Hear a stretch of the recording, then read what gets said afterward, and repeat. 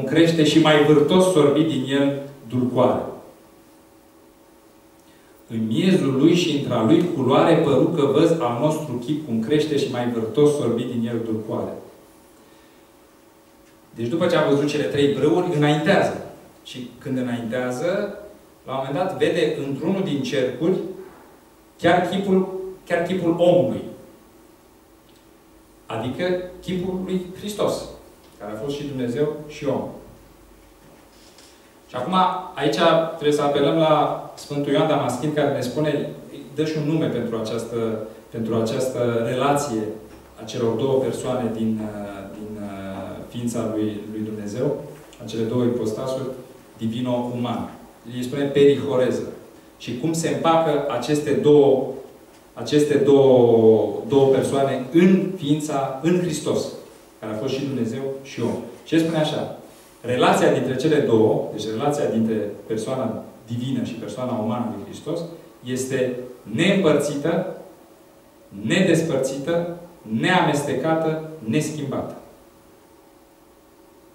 Deci, cele două persoane stau împreună, fiind neîmpărțite, nedespărțite, neamestecate, neschimbate. Păi un paradox, că mai dacă te uiți la ele, n-ai cum să înțelegi și într-un fel așa și este. Este un paradox.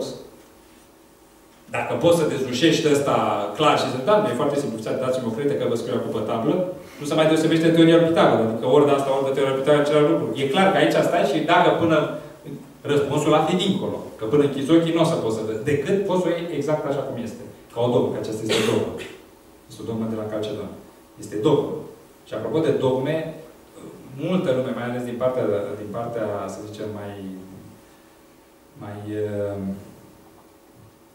mai laică, în clipa când aude cuvântul dogmă, a, a închis televizorul. Pentru că, stai nu, eu sunt om liber, sunt om, vreau să gândesc, de ce să mă pui pe mine? Nu are nicio treabă. Dogma în teologie este ceea ce este axioma în știință.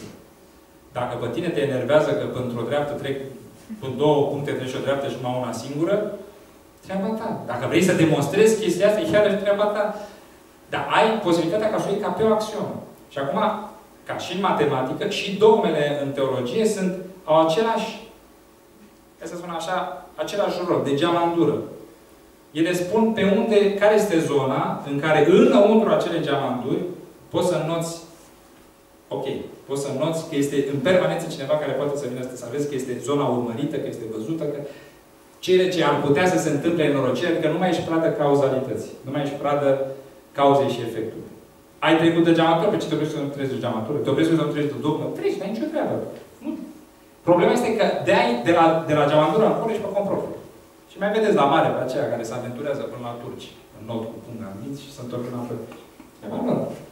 Dar nici nu trebuie să te enerveze că ă, ă, teologia își fixează ca puncte de reper clare aceste elemente dogmatice, care pe mine, dacă pe cineva din sală enervează ă, paradoxul acesta, nu pot să spui mai mult. Îl iei așa cum este.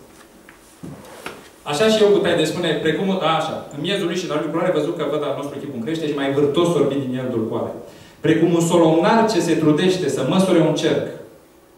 Solomnar adică matematician. Un solomnar nu era, nu era mai, mai, mai, un om de, de știință, cel care se apleacă asupra științelor.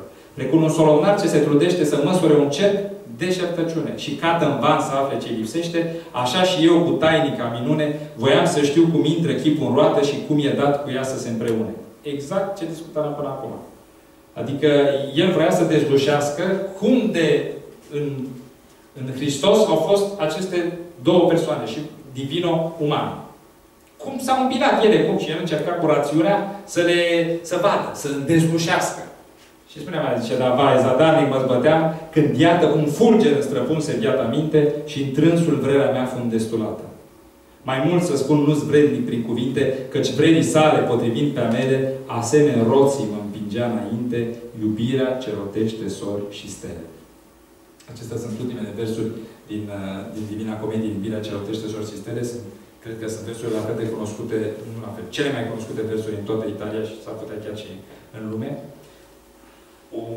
Un alt uh, mic uh, detaliu este că el își termină toate cele trei părți ale Divinei Comedii, și, purgator, și Infernul și Purgatoriu și uh, Paradisul, le termină cu același cuvânt. Uh, stele.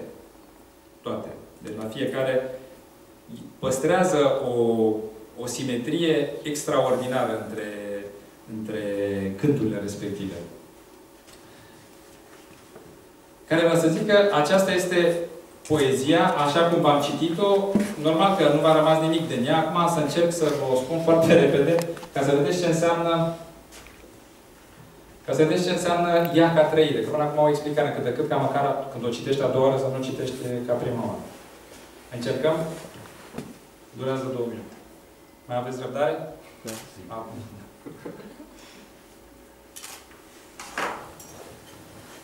Maică Fecioară a Fiului Tău, Fică, Soroc nestrămutat al Prerii Sfinte, ce mai presus de ființe se ridică, Tu ești aceea ce umana ginte înălțat, astfel că ziditorul nu se sfininuță se înveșminte. În pântecele tău s-a prins dorul, sub raza cui crescut amândura floare, ce raiul împodobește ovorul. Făcliești de milă și durare aici în cer, iar pe pământ fântână de doruri și nădejde zbătutoare. Atar puteri ți date în cer stăpână, că cine harul nu ți cere ție, cu frântea lipse prăbușe în țărână. Căci mila ta n-ajută în vrăjmășia celor care o cer, ci nerugată adeseori într-ajutor se îmbie. În tine-i sar milostivirea toată, în tine smăreția și putința și tot ce om bun și curat arată. Și acesta aici și-a purtat ființa prin iad, pe munte în sus și rând pe rând văzuta și osânda și căința, smerit te roagă în inimă și în gând să-i dai puteri ca spre cerescul Tată să înalțe tainic ochiului plăpând. Și eu, ce pentru văzul niciodată n-am ars ca pentru a lui, mă rog de tine cerșind să-i fie ruga îndestulată. Să-i spulberi tu cu rugile țenine, tenebrele ce sunt prin lut veșminte, ca pur să guste din supremul bine. Și te mai rog ca și de aici înainte să-i cruți, tu care poți nevătămate prin ce a văzut a sale simțăminte. Înfrânge în el pornirea spre păcate. De dragul meu te roagă Beatrice și raiul întreg cu mâini împreunate. Întoarse, Doamna, ochii ferice și dragi lui Dumnezeu spre vorbitor, vădind că încuvințează câte zice și de la El spre cel de veci izvor în care nu-i putința a pătrunde asemeniei vreun ochi de muritor și aproape fiind de ținta care ascunde a mele doruri toate, fără îndemn îmi stâmpărai dorințele profunde. Preasfântul surâdea făcând un semn să cat în sus, dar eu ca niciodată mă și uitam fără să aștept consemn. Privirea mea mereu tot mai curată, tot mai temeinic pătrundea prin rază, prin raza ce prin sine adevărată. De aici înainte, mintea nu putează să țină în pas cu cele ce văzute și nici memoria în gând nu le păstrează. Cum cel ce vede în vis nepetrecute și uitându-și visul poartă la amintire pe cetea simțămintelor pierdute, la fel și eu, căci dulcea amintire din gând în piere, dar minunea ei strop de lumină în picură simțire. La fel pierau frunzele de tei, cuvintele sibile pe care are și așiși de piereneaua sub scântei. Lumină lină ce te înalți tare deasupra minții noastre în veșnicie, le dăm un strop din ce am văzut aoare și dăm puteri ca din sclipirea să fie o singură scânteie. Bare una să lasă aceste lumi ceva să fie. Că și puțin de va să încânte struna, puținul de pănat în amintire va scrie gloria ta din totdeauna. Eu cred că aș fi întors a mea privire de Sfântul Foc, pe dată rătăcită aș fi rămas de mult ai strălucire. De aceea mi-amintesc că am îndrăznit să-i rab lucrarea până când treptat cu însăși ființa lui m-am contopit. O, har nespus, prin tine am cutezat pătrunderea luminile eterne și ochii mei prin tine au săturat. La sânul lor văzut am cum se așterne, de dragoste cuprins ca încingătoare, tot ce răzlesc prin univers se cerne și cei substanță în el, o întâmplare și legătura lor văzut astfel că tot ce spun e palidă lucoare. Căci însuși nodul, cred, și nu mă înșel, ce leagă tot ce-i ființă am văzut și o cred prin spor de bucurie în el. Și mai vârtos o clipă m-a făcut să uit decât mileniile izbând a prevașnicului neam argonaut. Atare în Domnul mintea mea pătrunsă a privea țintit, încinsă și răpită, cătând mereu să-și întețească pânda. Astfel de vii în raza proslăvită, că nu-i putință să-ți îndrepți anume spre altele privirea îndrăgostită, căci binele ce-i ținta vrerii în lume, în ea s adună tot. Iar restul noapte. Desăvârșire, zice ei pe lume. Dar chiar și față de amintiri, nu fapte mai greu mă voi rosti de aici înainte decât un prunc ce încă suge lapte. Nu fiindcă în raza bărbătei sfinte mai mult decât un chip putea să fie. Că ceea era mereu ca și înainte, ci doar pentru că văzul meu tărie sorbea privind. După schimbarea lui se preschimba și unica făclie.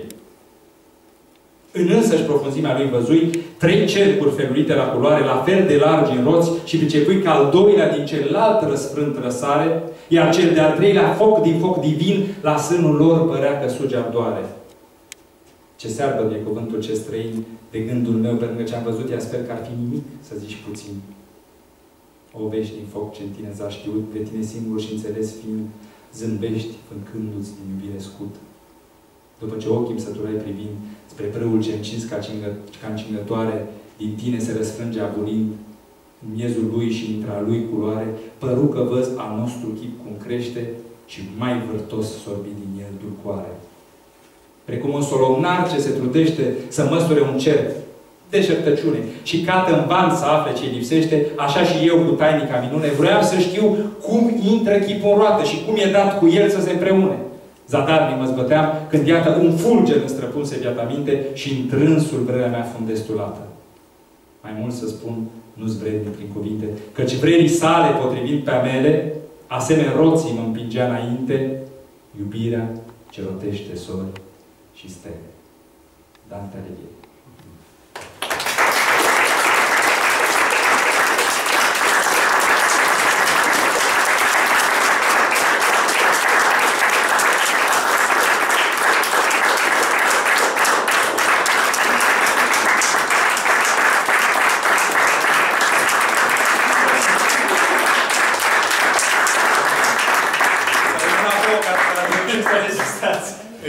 Fascinant de interesant că tensiunea emoțională care se generează cu asemenea, uh, să zicem, în asemenea moment, chiar necesită la sfârșit o asemenea descărcare, pentru că trebuie să revenim în realitatea înconjurătoare și asta este o problemă naturală când tensiunea este foarte mare, așa că sunt fericit de două ori. Odată că cred că e doar un început. Pentru că, așa cum l-ați auzit, E o poezie care, la un moment dat, m-a declanșat într-o discuție cu niște roți care veneau pe drum de sus, nu știu cum... Armani Sorescu. Așa.